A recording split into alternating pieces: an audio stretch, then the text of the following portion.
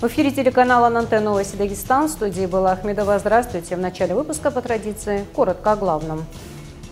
Телеканал АННТ – победитель всероссийского конкурса «Смиротворец». Работа редактора художественного отдела Карима Даниева заняла первое место. Желать или нет – дело личное, но призывать против не получится. Президент страны подписал закон о запрете публичной пропаганды бездетности. Взяткодатель или взяточник? Кто виноват больше и почему? Об этом смотрите в выпуске. В Махачкале определился победитель 10-го чемпионата Шамильского района по мини-футболу. Подробности в спортивном блоке. Обильный снег выпал в горах Дагестана в таких районах, как Агульский и Шамильский. В некоторых местах высота осадков составляет 50 сантиметров. В связи с этим на дороге Тлядал, Биштак и Деро закрыты некоторые участки. Госавтоинспекция также напоминает водителям о правилах безопасного вождения в зимний период. Условия даже в пределах одной дороги могут быть разными, так как погода непредсказуема. Стоит сбавить скорость на треть, а дистанцию увеличить минимум в полтора раза. Будьте аккуратны и сосредоточены, контролируйте ситуацию. Водите плавно и не совершайте резких маневров. Проекты телеканала ННТ стали победителями 16-го всероссийского конкурса «Смиротворец». Работа редактора художественного отдела Карима Даниева заняла первое место в номинации «Телевидение». Он подал на проект выпуски «Дагестанцы ищут жену» и приданная дагестанской невесты в передаче «Свободный микрофон».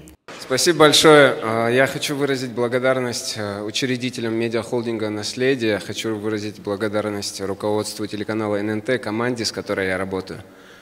И в целом, что, не ожидали, да? Думали... Это призыв к аплодисментам. Думали, дагестанцы только бороться умеют?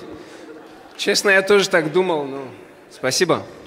Всего в этом году на конкурс было подано почти 13 тысяч работ. Участниками стали более тысячи СМИ и блогов. Финальный этап прошли всего 134 претендента, из которых жюри выбрало победителей. Отметим, что конкурс организован Федеральным агентством по делам национальностей при поддержке гильдии межэтнической журналистики. Стать родителем – выбор каждого. Но отговаривать от этого в России теперь не получится. Президент страны подписал закон о запрете публичной пропаганды child-free и распространения любой информации, призывающей граждан отказаться от рождения детей. За нарушение грозят крупные денежные штрафы. Подробнее расскажет Абдулла Алиев. Child-free – свободный от детей – термин, возникший в США во второй половине 20 века – его применяют к людям, отказавшимся заводить ребенка. С годами обычное нежелание стать родителем переросло словно в идеологию, которая на данный момент, к сожалению, продолжает набирать популярность. Согласно опросам, около 30% жителей Штатов Америки и стран Европы придерживаются взглядов child-free. Чем старше я становлюсь, тем больше меня пугают дети. Их крики, их истерики иногда просто доводят меня до панических атак.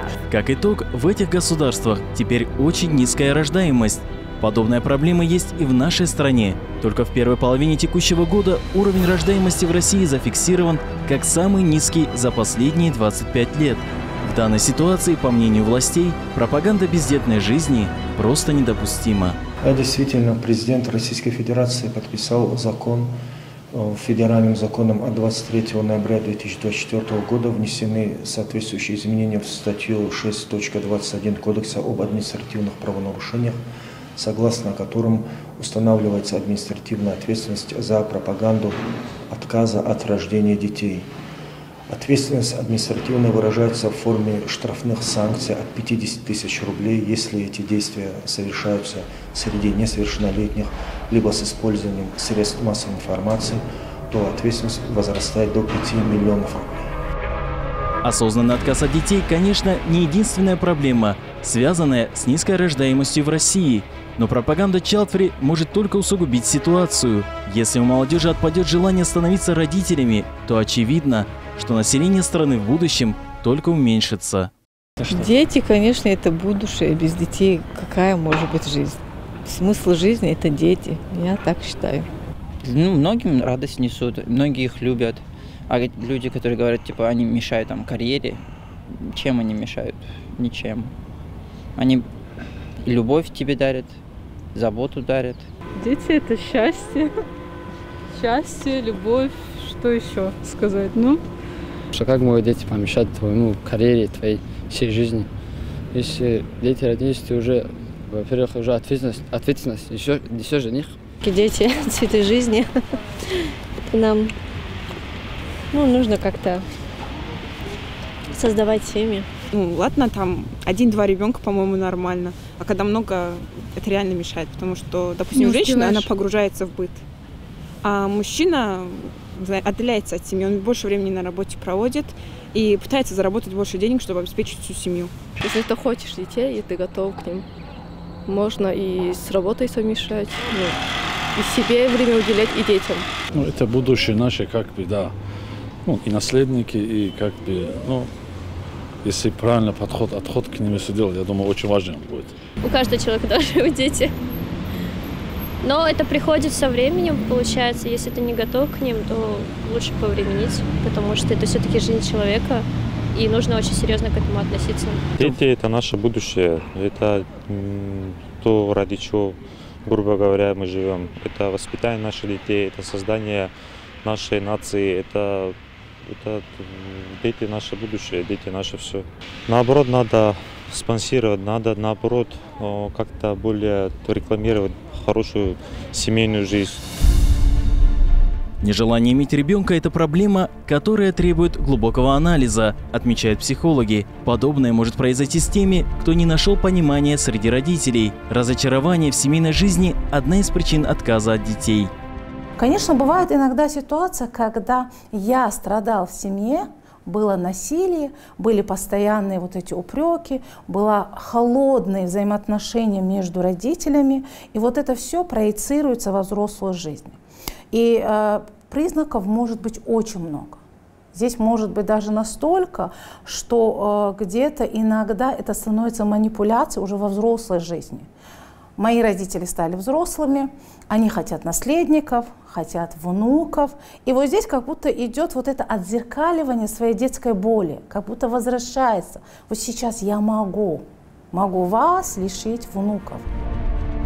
Ребенок как помеха для карьеры, отсутствие детей – путь к развитию. Сегодня в мире подобные умозаключения открыто и завуалированно распространяются среди людей, особенно среди женщин. Хотя нередки случаи, когда статус мамы не мешал представительницам прекрасного пола добиваться успехов.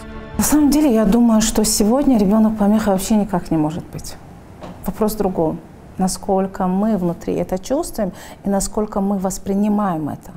И сегодня такое время, когда женщина может успешно строить карьеру и быть осознанной мамой. И быть, но для этого у любого ребенка или у взрослого человека должна быть психологическая зрелость. И когда мы говорим про психологическую зрелость, это не всегда возраст. Согласно религиозным канонам, появление детей на свет – одно из значимых событий в семейной жизни. Это продолжение рода и возможность воспитать достойных людей, которые в будущем принесут пользу обществу. В многих аятах Всевышний Аллах приводит примеры пророков и праведников, которые обращались всяческими мольбами ко Всевышнему, чтобы Он им даровал детей, зная и понимая ту значимость и величие э, того, что Аллах э, даст им возможность после себя оставить хорошее продолжение. Э, любого человека, которого мы обучили чему-то хорошему, пока этот человек совершает, делает, за это вознаграждение равное мы тоже получаем. Есть изречение пророка Саласам. А лучшим продолжителем нашего дела и куда мы можем вкладывать, это, конечно же, наши дети. Все, что мы их благому, хорошему научили, и пока они это притворяют в жизнь, за это вознаграждение Всевышний Аллах, иншаллах, даст этому человеку. Каждый вправе сам решать, что для него лучше, но стоит учесть, что запрет на пропаганду бездетной жизни введен для общего блага, ведь неокрепшие молодые умы не всегда могут точно оценить получаемую информацию. Наоборот, наша задача сегодня – воспитать подрастающее поколение в духе традиционных семейных ценностей. Ведь дети – это действительно будущее, но нам надо приложить усилия, чтобы оно было светлым. Важно, чтобы подрастающее поколение понимало, что рождение ребенка – это ответственный шаг, но ни в коем случае не боялось сделать его. Поэтому мы, старшие, должны до них донести, а лучше всего показать на собственном примере, что семейная жизнь, в которой есть дети – это счастье, и от него не стоит отказываться. Абдулла Алиев, Магомед Магомедов, Магомед Сагитилов, Мурат Бигбарзов, телеканал ННТ, Махачкала.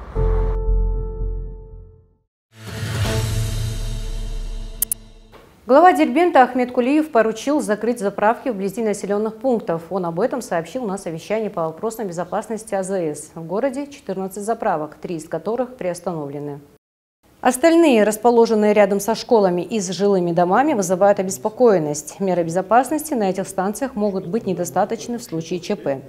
Вот сейчас мы же видим, что эта заправка представляет реальную опасность на таких плачевных примерах два взрыва, которые за неполные годы вот здесь в республике и где погибли огромное количество людей. И пострадали абсолютно невинные люди. Если там реально, даже если далеко будет стоять от этого учреждения, если взрыв там реально такой произойдет, то все разнесет. Да. На месте закрытых АЗС Кулиев предложил построить другие коммерческие объекты, которые не будут представлять угрозу жителям, но принесут прибыль владельцам. С ними еще раз побеседуем. Хозяева это заправок, которые хотят вид деятельность поменять. Мы даже пойдем на встречу, и поможем там этот вопрос решить. Никаких мы им проблем не создадим посмотри по архитектуре, что там подходит, дайте ему возможность построить и работать. Напомним, что в Махачкале в сентябре этого года произошел взрыв на АЗС, который унес жизни 13 человек. Еще 22 получили ранения. На владельца заправки Джанхуватова возбудили уголовное дело. Он был задержан. В настоящий момент арест продлен до 27 декабря. Против коррупции. Кто виноват больше? Тот, кто дает взятку или тот, кто ее берет? Этот вопрос задали жителям и гостям республики. Большинство считают, что основную ответственность несет тот, кто берет взятку, так как именно он обладает властью и принимает решения, нарушающие закон. Однако есть и те, кто считает, что дающий взятку виноват не меньше, потому что он инициирует коррупционную сделку. Скажите, пожалуйста, кто несет больше ответственности? Тот, кто дает взятку или тот, кто берет? Мне кажется, тот второй. Почему? Потому что он сам принуждает этого человека отдать. Я считаю, что здесь э, доля ответственности равно пропорциональна. Ну, принято в нашем обществе считать, что э, тот, кто э, принимающая сторона, на нем больше ответственности. Но это в том случае, когда вынуждают брать. Но нельзя при этом полностью снимать ответственность и стороны, которая дает. Потому что без тех, кто дает, э, этой коррупции не было бы. Скорее всего, кто берет. Почему? Потому что если он берет, то порождает спрос на них, получается. Ну, наверное, тот, кто дает. Почему? Ну, если бы не давали взятку, то, наверное, бы не было коррупции. Я думаю, что эта ответственность одинаковая для обоих. Да. Кто берет взятку. Мне кажется, это баланс ровный. Кто берет, а кто дает. Оба. Потому что если бы не давали взятки и не брали бы, каждый был бы на своем месте. Отметим, что 28 ноября в Управлении Федеральной службы судебных приставов Дагестана пройдет горячая линия по вопросам противодействия коррупции. Каждый сможет обратиться к специалистам с темами, связанными с этой проблемой. И к новостям спорта. В Махачкале определился победитель 10-го чемпионата Шамильского района по мини-футболу. Юбилейный сезон на первой строчке турнирной таблицы завершила команда «Кахиб». Атмосферу заключительного тура передали наши корреспонденты. Чемпионский коридор как дань традициям и знак уважения сопернику. Футболисты Кахиба обеспечили себе золотые медали за тур до финиша сезона. Но в заключительном матче они не стали почивать на лаврах и одолели соперников из Хороды. Почетный трофей команда добыла впервые в своей истории. Словами не передать. Э, мы 10 лет к этому шли. Э, старались, да, не знаю, тренировались, 10 лет шли. Каждый год у нас не получалось, что-то нам мешало. Ну, на 10 год, на юбилейный мы смогли достичь своей цели.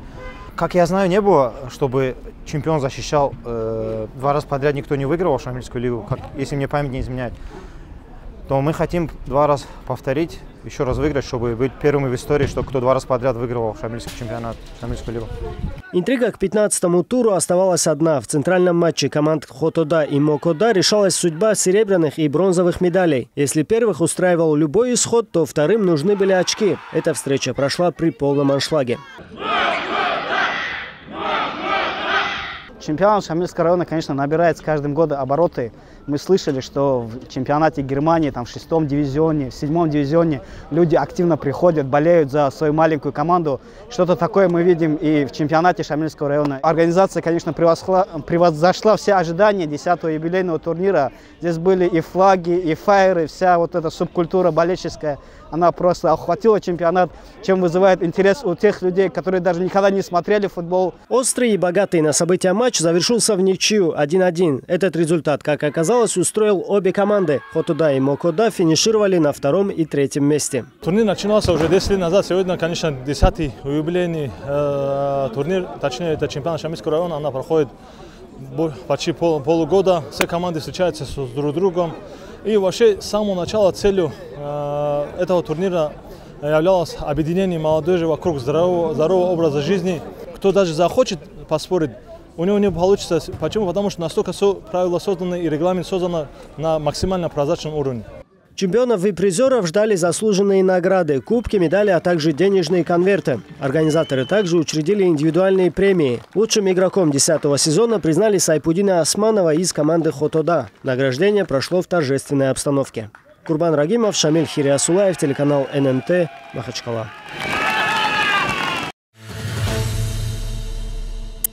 В завершение выпуска коротко о погоде на завтра. Температура в столице Дагестана ночью 4 градуса тепла, местами кратковременные осадки. Ветер северо-западный 10 метров в секунду. Днем воздух прогреется до 6 градусов, осадки сохранятся, ветер также северо-западный 10 метров в секунду.